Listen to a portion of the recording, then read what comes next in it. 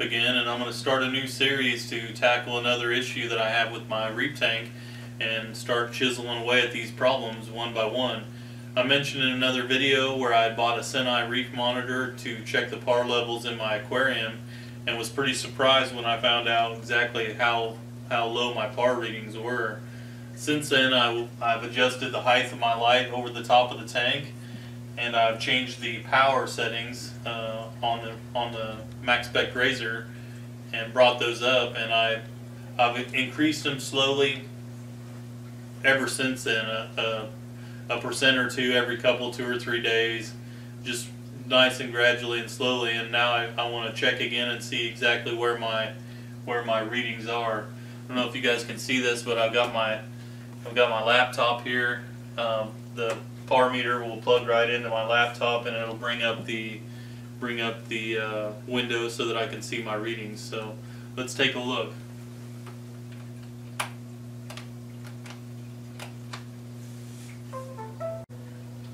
Alright guys, so I've launched the window so that I can check my readings.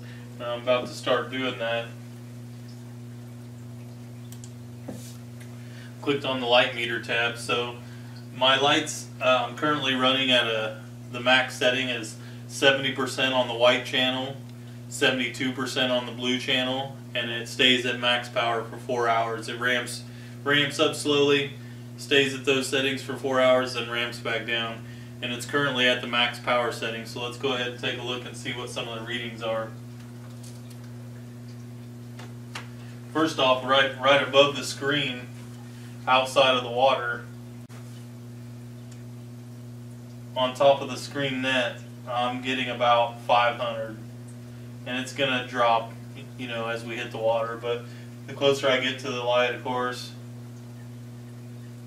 you know, I'm, I'm about halfway to the light now. I'm at 1200. So let's open up the aquarium and get in inside. We'll start in the middle. So, in the middle of the tank, directly under the LED, and on top of my rock work, even though I'm still just, uh, that I've been bumping it up, I'm still at 160, about 160 par right there at the top of my rock work. So I'm going to want to bring that, uh, that's still going to, I'm still going to, I've still got room to go to adjust that up. Down here on my sand bed,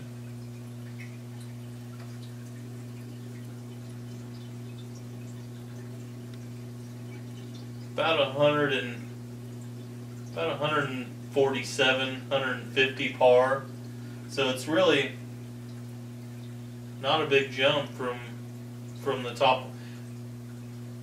Yeah, about a, about 160 right there at the top of the rock work. It's kind of bouncing around. I'm holding my light, holding my meter straight up and down, holding it pretty still. It's bouncing anywhere from 160 to 170. And then down here on the sand bed, about 140, 150 kind of jumping around on me. So I'm still going to want to bring those on up. Uh, if I move out here to the outside edge, directly under the outer the outer light, I'm about 130 at the at the top of the rock level here. If I go over the top of these zoes, zoanthids that I've got, they're kind of away from the light. They're actually kind of underneath the over the return the return, and it's about about 80. So I've got a I've got quite a bit of adjustment left to do over the top of these A cans here.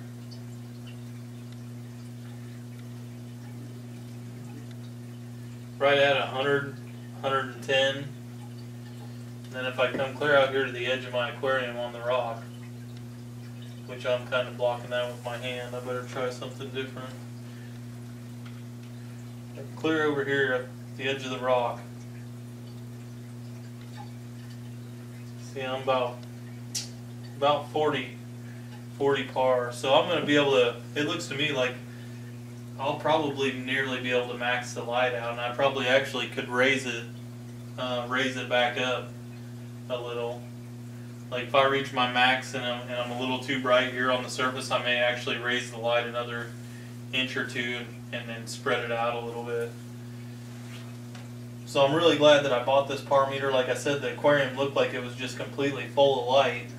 Like I, I felt like I was giving it plenty of light, but in reality, it, it, it wasn't it wasn't getting enough light at all. Yeah, right there on the top of the rock work, like I said, it's around 160. So I'm going to continue to raise this. I'm going to continue to raise the uh, raise the power settings and keep bringing it up.